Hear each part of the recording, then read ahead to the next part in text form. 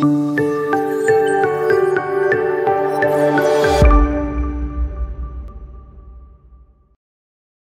and welcome to digital Techsol my name is Faisal Mazhar so viewers आज का हमारा topic है how to restore your WordPress website from cPanel last video में मैंने आपको सिखाया था कि आप सी पैनल से कैसे अपनी पूरी वेबसाइट का बैकअप लेते हैं। आज की वीडियो में हम देखेंगे कि उस जो हमने बैकअप लिया था लास्ट वीडियो में, हम उसको कैसे रिस्टोर करते हैं।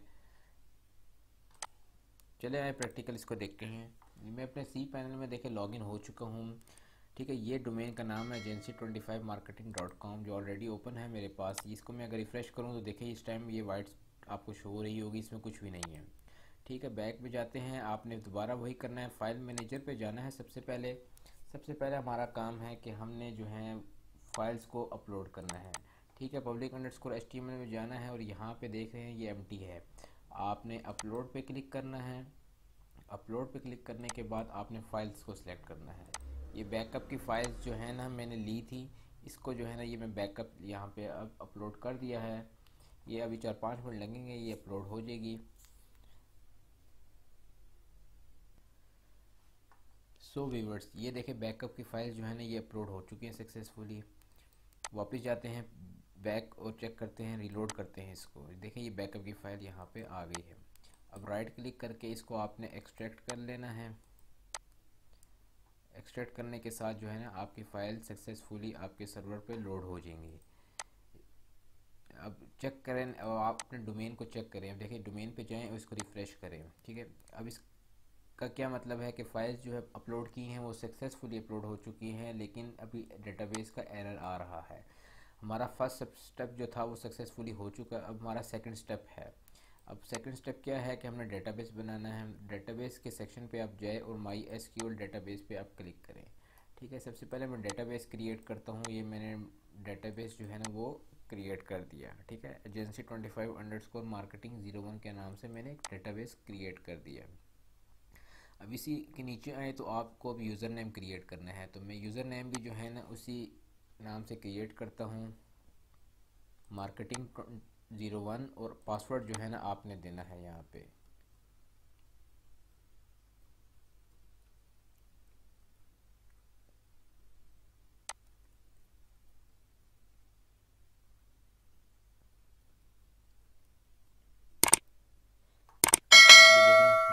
पासवर्ड मैंने दिया और अब मैं यहाँ से क्रिएट यूज़र्स कर रहा हूँ। तो डेटाबेस भी क्रिएट हो चुका है और यूज़र भी क्रिएट हो चुका है, ठीक है? अब लास्ट काम डेटाबेस और यूज़र को आपस में इंटरलिंक करना होगा, ठीक है? उसके लिए कैसा होगा? ऐड यूज़र टू डेटाबेस ठीक है? यहाँ से आपने ऐड करना है और यहाँ से आपने जो है ना ऑल प्रिविलेज को सिलेक्ट कर लेना है, ठीक है? ऑल प्रिविलेज को सेलेक्ट करके आपने मेक चेंजेस करनी है तो आपका ये थर्ड काम भी हो गया। अब वापस बैक पे चले जाएँ बैक पे जाएँ तो आप यहाँ पे देखिएगा कि ये डेटाबेस भी आपका शो हो रहा है और प्रिविलेज यूज़र भी आपका शो हो रहा है। आपका डेटाबेस भी सक्सेसफुली जो है ना वो क्रिएट हो चुका है। वापस आप मेन एरिया में चले जाएँ। अब आपने क्या करना है? अब आपने थर्ड स्टेप करना है P H P my admin को सिलेक्ट कर लें। अब डेटाबेस जो हमने लास्ट वीडियो में हमने एक्सपोर्ट किया था ना, अब वो डेटाबेस हमने इंपोर्ट करना है। किस, कहाँ पे इंपोर्ट करना होगा? ये जो आपने अभी डेटाबेस बनाया है ना, इस पर आपने वो डेटाबेस को इंपोर्ट करना है। आप इस पर क्लिक करें और आप यहाँ इंपोर्ट पे क्लिक कर दें। इंपोर्ट पे क्लिक करने के बाद आपने फ़ाइल को चूज़ करना है।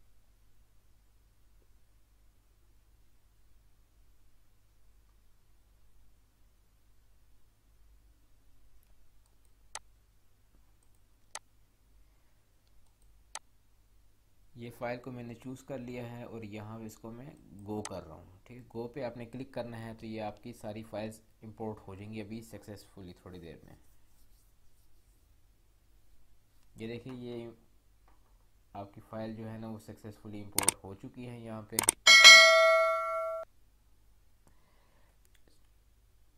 अच्छा लास्ट काम अब रह गया है आपका। आप आपने वापस अपनी फाइल्स पे जाना है जहाँ पे आपने ये सारी फाइल्स अपलोड की हैं।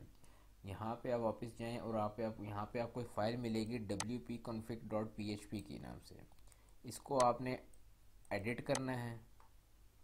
एडिट करके जहाँ पे पुराना डेटाबेस का नाम वगैरह लिखा हुआ होगा ना वो आपने चेंज करना है। अभी जो अभी आपने लेटेस्ट बनाया है आपने वो ऐड करना है।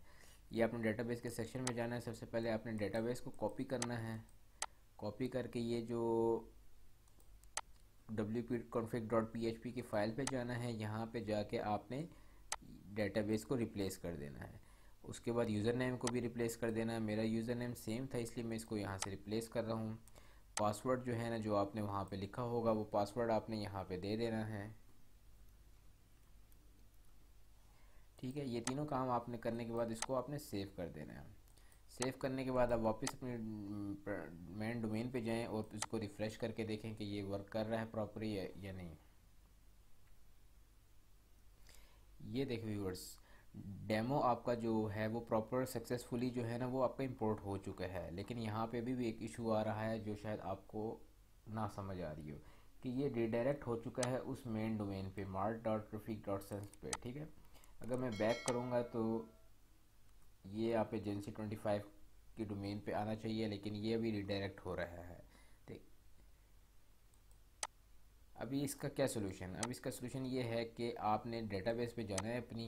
ये जो आपने देखें डेटाबेस जो आपने इंपोर्ट की थी ना, यहाँ लेफ़्ट साइड पे आप एक, आपको डब्ल्यू पी ऑप्शन के नाम से एक शो होगा। ये ये देख रहे हैं W P T J option के नाम पे। इस पर आपने क्लिक करना है। इस पर क्लिक करके यहाँ पे जो आपने डेटाबेस इंपोर्ट किया है ना तो इस पर वही डोमेन्स लिखी आ रही है। तो यहाँ से आपने डोमेन चेंज करनी है। डोमेन कैसे चेंज करनी है? यहाँ पे आप अपनी डोमेन का नाम लिखना है। ये देखिए, यहाँ से आपने डोमेन कॉपी की और यहाँ पे आपने अपनी डोमेन का नाम ऐड कर दिया। अभी ये देखे मैंने अभी यहाँ पे लिखा था तो ये देखे रिडायरेक्ट होगी वापस वहाँ पे। उसके बाद नीचे भी, यहाँ पे भी आपने अपनी डोमेन का नाम लिखना है। मैं वापस से इसको यहाँ पे एजेंसी ट्वेंटी फाइव लिखता हूँ। तो अभी ये देखिएगा ठीक हो जाएगा। ये भी भी वही आ रहा है, ये कोई मेरे ब्राउज़र के कैशे का इशू होगा, इसको हम किसी और खोल के चेक कर लेते हैं। एजेंसी 25 मार्केटिंग यहाँ पे लिखा है तो ये देखिए आपकी एजेंसी 25 मार्केटिंग अब आपको शो हो रहा है और आपको वही डोमेन जो है ना सारी यहाँ पे शो हो रही है। तो ये तरीका था कि आप बैकअप लेके आप उसको रिस्टोर कर सकते हैं। बहुत इजी तरीका है ये। तो वीडियो आपको पसंद आई हो तो हमारे चैनल को सब्सक्राइब करें, बेल आइकन पे क्लिक करें। ऐसी लेटेस्ट और टेक्निकल इश्यूज़ जो होते पेश आते हैं, हर यूज़र्स को उस तरह की वीडियो अपलोड होती रहेंगी इन थैंक यू फॉर वॉचिंग।